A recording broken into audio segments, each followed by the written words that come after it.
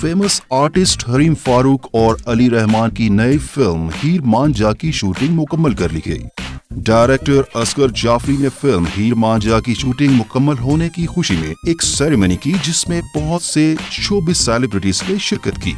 इस फ़िल्म में हरीम फारूक और अली रहमान लीडिंग रोल अदा कर रहे हैं, जबकि दीगर आर्टिस्ट में आबिद अली, फैजान शेख मोजिस हसन और शुमाइल शामिल है। हरीम और अली रहमान ने 2017 में बनने वाली फ़िल्म पर्ची में भी लीड रोल अदा किया।